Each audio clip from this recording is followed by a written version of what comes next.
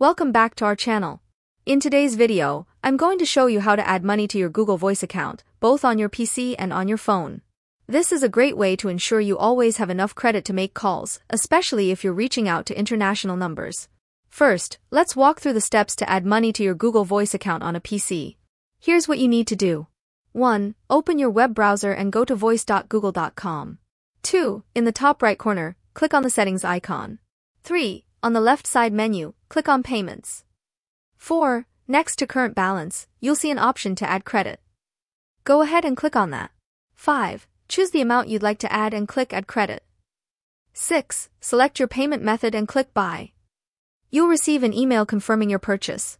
7. If you'd like, you can set up auto recharge to automatically add credit when your balance falls below $2. Just select the option that works best for you. Now, let's move on to how you can add money to your Google Voice account using your phone. 1. Open the Google Voice app on your phone. 2. Tap on the menu icon, and then go to Settings. 3. Under Payments, tap on Add Credit. 4. Select the amount of credit you want to add and tap Add Credit. 5. Choose your payment method.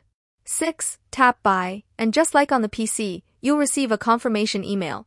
7. You can also set up auto recharge here if you'd like to automatically add credit when your balance falls below $2. If you notice an extra $1 transaction on your bank statement from Google, don't worry. This is just a temporary authorization request to ensure your card is valid and has enough funds.